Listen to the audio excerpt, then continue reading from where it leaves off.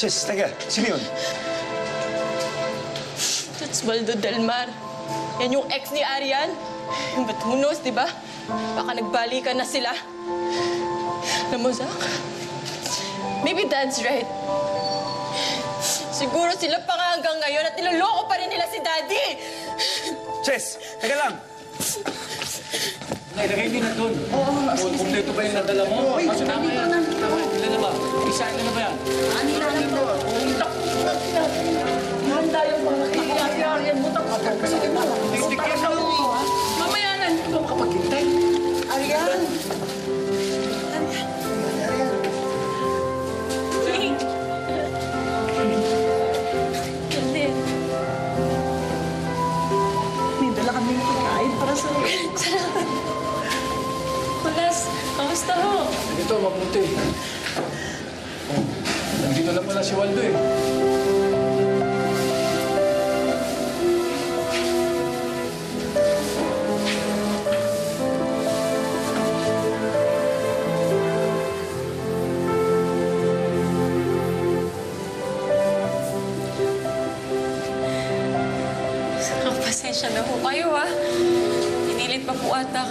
Waldo pumunta dito. Huwag mo isipin yun, Arian. Kami nga ang nagpumilit para sumama kay Waldo eh. Oy, na, pagkain. Ang dami. Siya! Tingnan mo. Kung sakto po yung dating ninyo, sabay-sabay na tayo kumain. Ako eh, hindi ko alam na darating kayo. Sana dinagdagan ko yung dala ko. Kami rin hindi namin alam na dadating ka, Rosine. O, edi, surprise! Sa laki ng mata niya, hindi ka ba tayo napansin? Uh, alika, Rosing. Halika. Eh, sabay-sabay na tayo. Marami-rami kami ngayon nadala pagkain eh. Marami rin po kaming dala. Tara, Waldo, dali. Ano ba, Lisel? Dito ka, dito ka. Oh, talaga. Ano na Dami pagkain. Ipagdarasal namin na magiging maganda ang resulta ng hearing ng kaso ni Arian. Tsaka kung may maitutulong kami, huwag kayong mahiyang magsabi sa amin, ha? Team Marinduque pa rin tayo, Ate Arian, ha? Solid! High five man o low tide. Gusto ko yung high five. Pero ayoko yung low five. Yun lang. Rainy talaga si Aling Rosing. Sinasabi mo. Uy, basta hindi tayo magpapatalo, ha? Oo. Hindi Marinduque. Ay, doon ka na, Rosine. Doon ka na. Doon ka sa tabi. Isingit mo siya, Chad.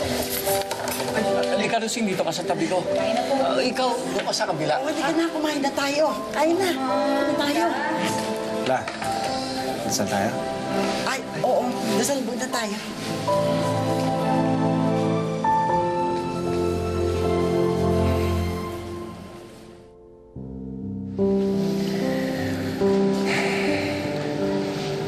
Panginoon,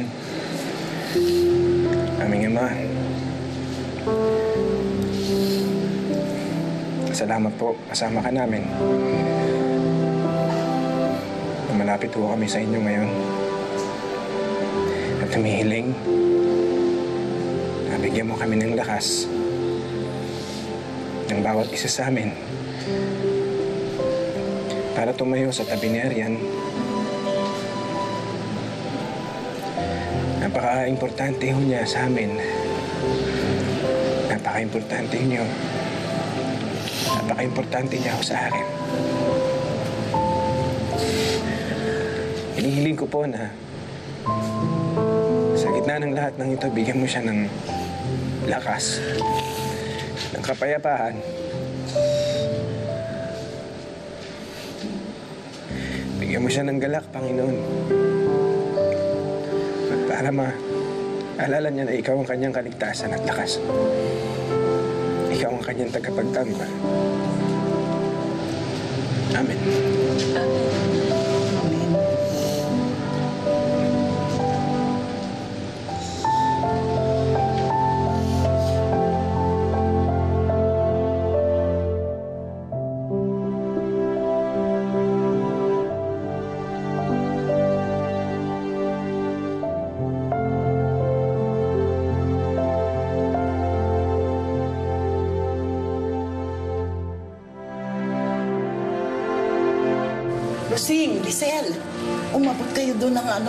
Sa gata, sa shadow isda, yung, yung uh, liempo.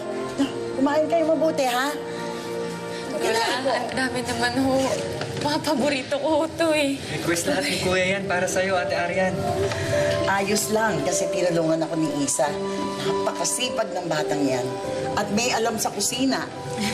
And nagpapasalamat ako sa pag-aasikaso ni Waldo kay Arian, lalo na sa sitwasyon ng pamangkin ko ngayon. Kaya lang nag-aalala ako kasi baka lalong pag-initan ni Tristan si Arian ay madamay pa si Waldo. Yan nga ang sinasabi ko. Mahirap na yung kaso ni Arian. Eh sana hindi na madagdagan pa. Kain po muna tayo lahat, baka lumamig na yung pagkain. Pag lumamig yan, di na masarap. Ayoko mapahiya kay Arian. Sige nga. Tayo. Kain tayo. Gusto ko lang hong magpasalamat sa ganito pong panahon na parang tinalikuran ka ng mundo. Ang sarap sa pakiramdam na andito yung pamilya ko at yung mga kaibigan ko. Salamat. Maraming pong salamat. Kain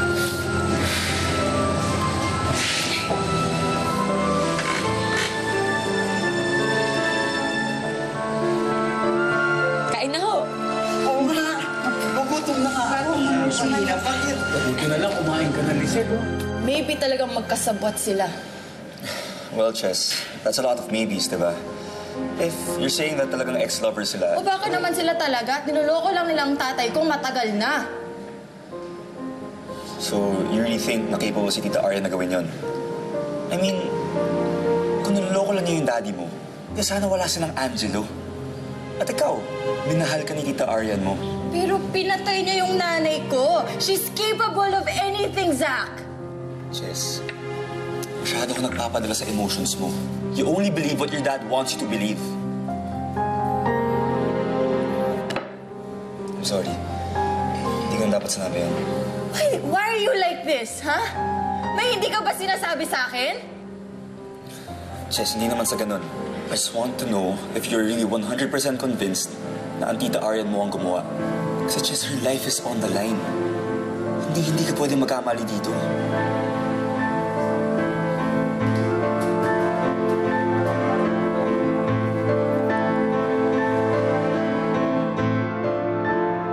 Rosing, adobo sa gata.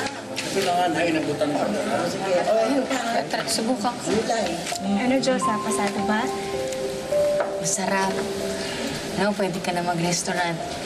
Restaurant agad? Salamat ha. Paborito ko lahat to. Oo nga eh. Lahat na yan, ni-request ni Waldo. Close ka pala talaga sa kanila. Sino ba naman ang hindi gugustuhin maging malapit sa pamilya ni Waldo? Ang babait nilang lahat. Gusto ko na nga maging parte ng pamilya nila eh. Mo, ganyan pa man sila sa Marinduque pa lang.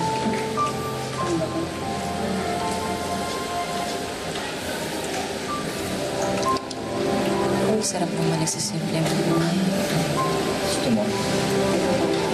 Kain ka pa. Kain ka madami ito. Para sa'yo lahat yan.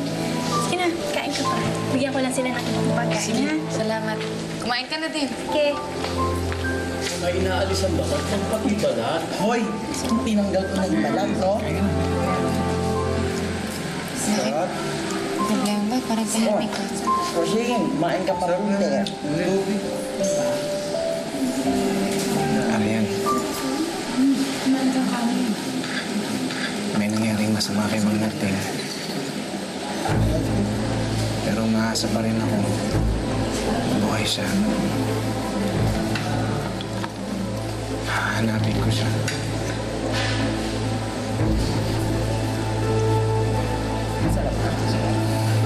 Hahanapin ko siya.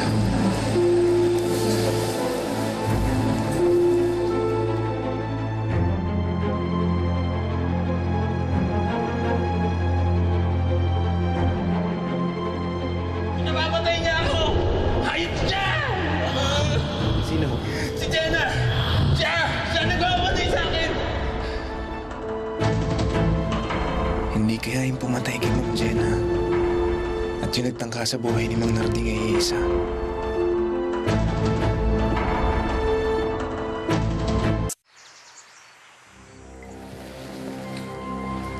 Imimit na lang tayo ni Atty. Galvez dun sa korte.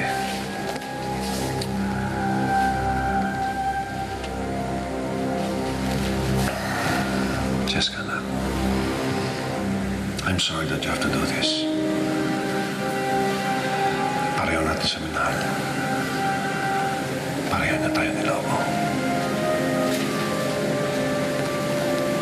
But not anymore. This ends today. Dad, ginagawa mo ba to to spite Arian? Gumaganti ka ba sa pag-iwan niya sa'yo? Jessica, I know what I saw. Why are you asking this? Ba't bigla ka nagdududa ka? Nothing. Isa pa, nadadala sa pagkikita ni Zach. I just want you to know that this is not still okay. Lalo na ngayon, marami kang dapat alalahanin ng responsibility. Isa na doon ng SP. We have to go. Malilate tayo.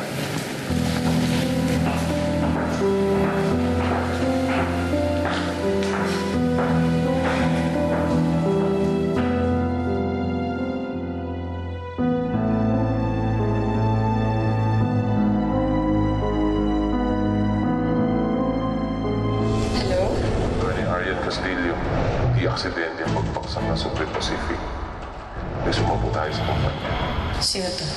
Ano alam mo? May ba abogado ka? Bakit hindi mo imbestigahan? Simulan mo sa ex-wife ni Tristan Rosado. Anong kinalaman ni Jenna dito? Siya lang naman ang buod sa loob ng inaagnas na kumpanya ng pamilya niya. Si Jenna, sumubot tayo sa Supreme Pacific. Mag-iingat ka, Attorney Castillo. May nangyari masama kay Mang Narding. Pero umaasa pa rin ako. Buhay siya.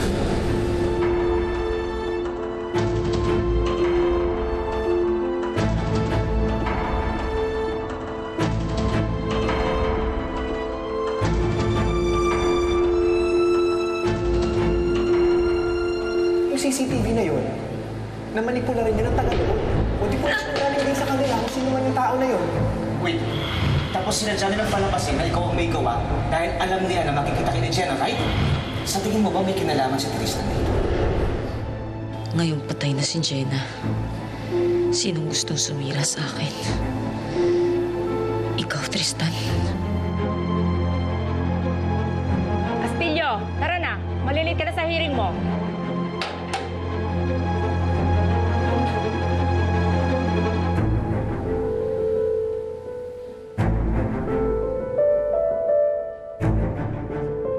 Dadaan lang ako sa opisina, attorney. Dada- darating ako.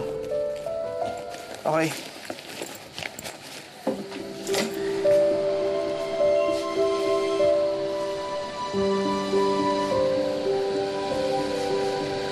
La, Nag-aalala ako, Apo. Ayoko mapahama ka dahil sa kaso ni Arian. Kilala ka namin. Alam namin gagawin mo lahat para sa kanya.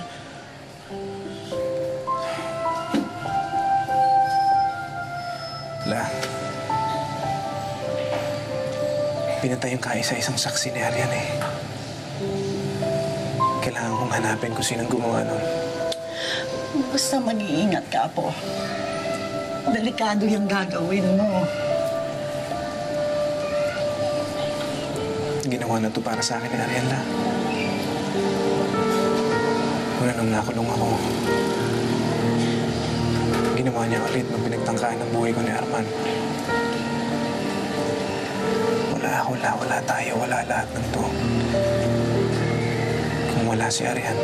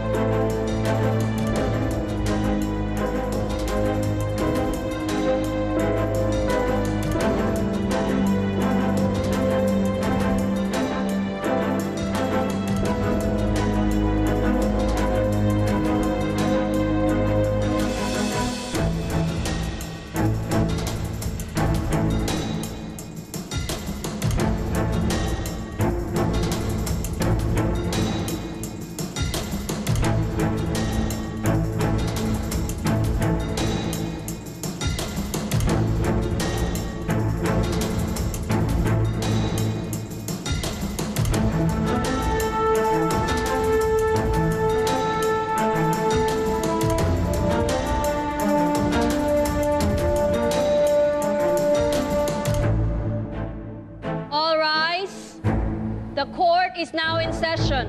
Presiding this case is Honorable Judge Evangeline Diaz.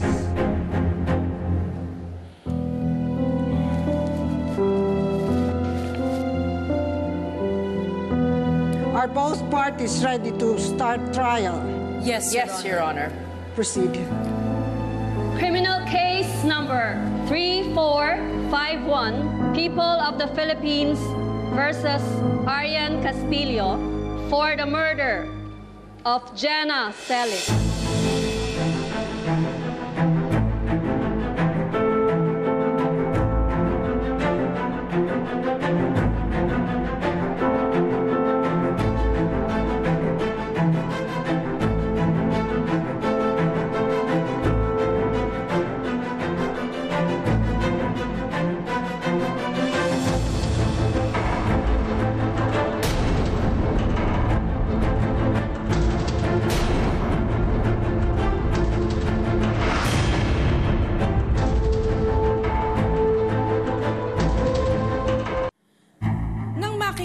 Papalabas ng building si Miss Castillo, can you describe her demeanor?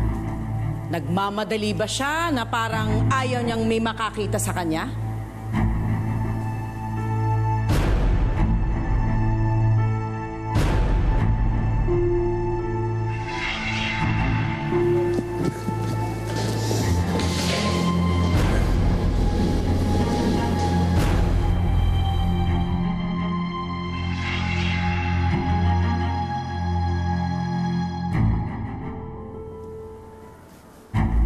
Nakita ko siya, nakasanda siya sa dingding. Hingal ng hingal. Nung nakita niya ako, ang laki ng gulat niya. Takot na takot. Sinubukan niya tumakas pero pinigilan ko siya. Nanlaban ba siya?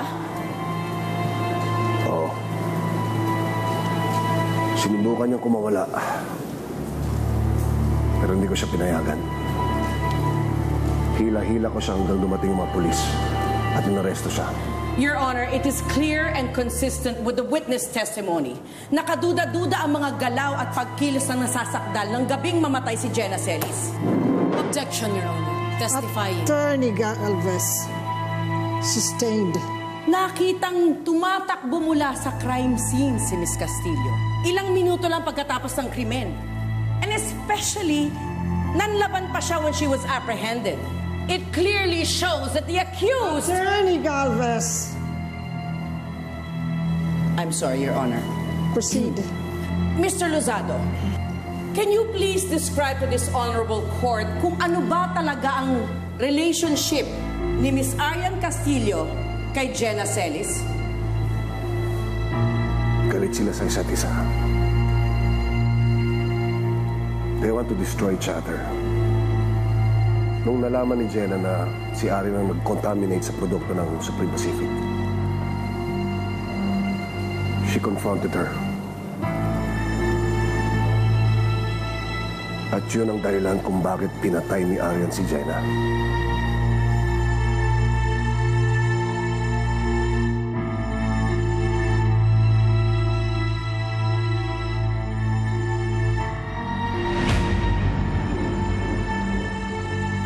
Yung sinabi mo na sinugod ni Miss Castillo si Jenna Celis sa kanyang opisina. Tama? Opo, galit na galit pa nga po siya. Hindi po siya nagpapigil sa pagpasok sa opisina ni Ma'am Jenna. Kailan nangyari to? Isang araw po, bago mamatay si Ma'am Jenna. At ano naman ang nangyari pagkasugod ni Miss Castillo kay Jenna Celis? Naririnig ko pong nagsisisigaw si Ma'am Jenna. Pag-walkout po ni Attorney Castillo, lumabas po si Ma'am Jenna ng opisina niya. Puro icing po ng cake ang mukha niya. Pagkatapos po, pinatapon sa akin ni Ma'am Jenna yung cake na dala ni Attorney Castillo. Pagkakita ko po, puro uod po. Exhibit number 8. Printed CCTV footage ng panunugot ni Miss Castillo kay Jenna Celis. Dala-dala ang sinasabing cake.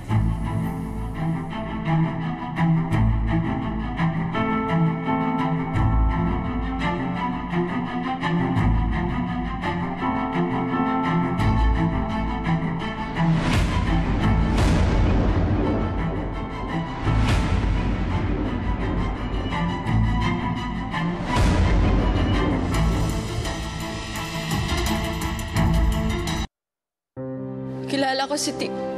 si Arian. Malapit ako sa kanya. At hindi ako naniniwalang magagawa niya to. Until she threatened your mom? Opo. Ano ang tono ng boses ni Miss Castillo nung kausap niya ang mami mo? Galit po siya. Was she shouting? Sige, magkita tayo. Tapusin ang natin to. Sorry.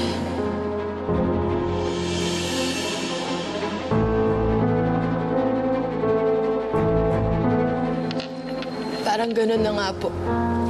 Meron ka bang kasama ng mga panahon na yon na makakapagpatunay sa mga sinasabi mo?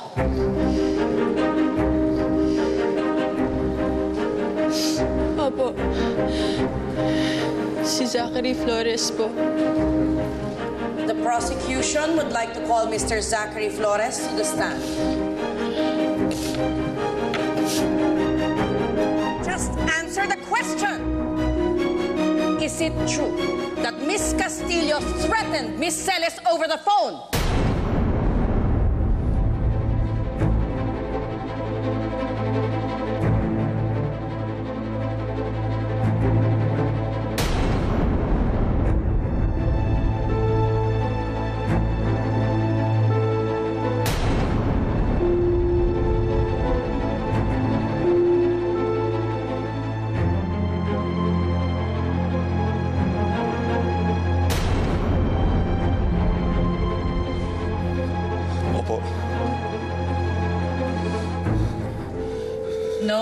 Further questions, Your Honor.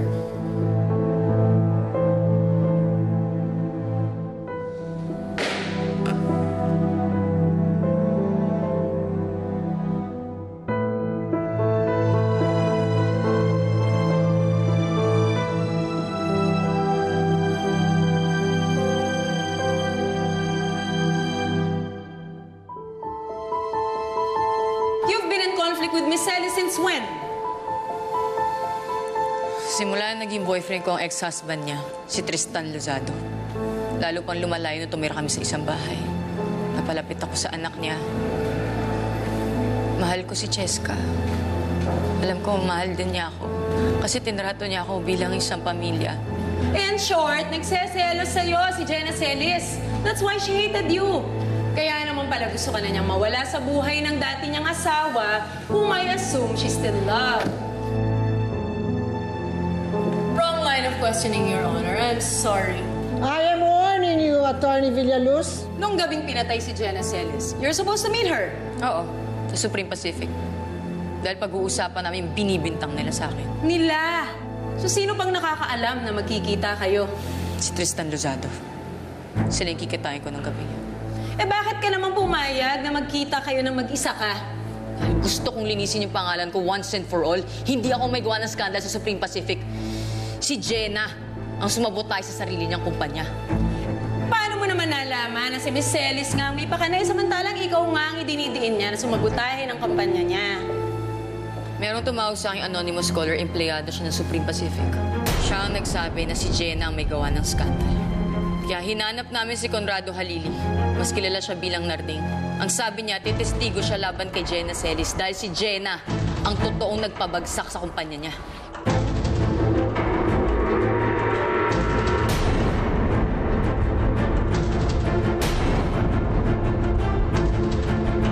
Ang sabi niya, titestigo siya laban kay Jenna Celis dahil si Jenna ang totoong nagpabagsak sa kumpanya niya. Objection, Your Honor. Wala sa witness list ng defense si Conrado Halili. In fact, he is on our witness list. However, the said witness is missing. Sustained.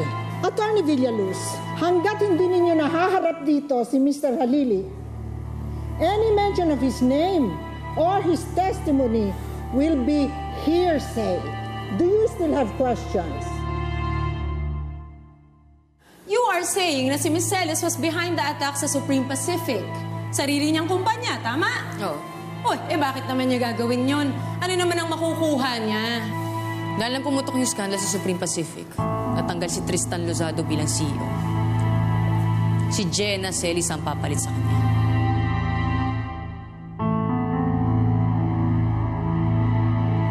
Exhibit number 15.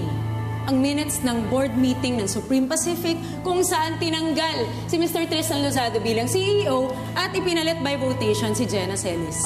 Objection, Your Honor, irrelevant. Of course, this is relevant. Gustong patunayan ng depensa na merong power struggle between Mr. Tristan Lozado and Miss Jenna Celis. Na posibleng si Mr. Tristan Lozado nagpapatay kay Jenna Celis nung malaman niya na siya ang may pakana ng mga attack sa Supreme Pacific, which ousted you from the CEO post. My client here, Mrs. Castillo, is actually a victim na sinetap lang siya sa isang krimen na hindi naman talaga siya ang may gawa.